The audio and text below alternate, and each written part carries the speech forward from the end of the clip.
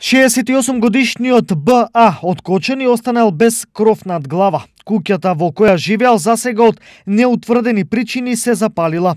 Пожарникарите за релативно кратко време по дојавата го изгаснале огнот. Освен материјалната штета од сега пеплосаната куќа, за среќа повредени лица нема. Увид извршила екипа од Кочанската полициска станица. Доправа ќе се утврдуваат причините за опожарувањето на домот на несрекниот кочанец.